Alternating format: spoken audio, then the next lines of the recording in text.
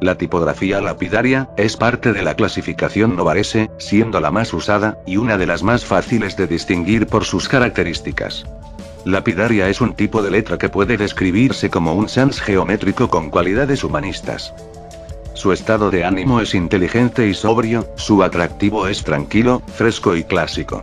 Aunque funciona bastante bien incluso en cuerpos de texto más largos, una particularidad de lapidaria radica en la tipografía de visualización.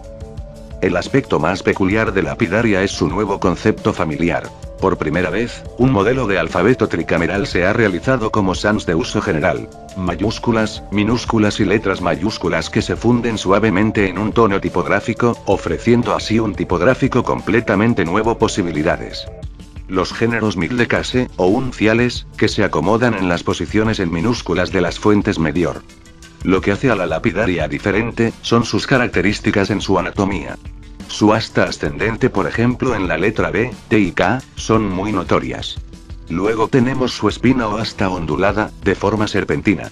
Las lapidarias también, son conocidas por tener su origen en las letras estilo romance. De ahí el porqué sus características. Y su nombre indica que se usaban para cincelar en la roca, palabras, o frases en el idioma latín.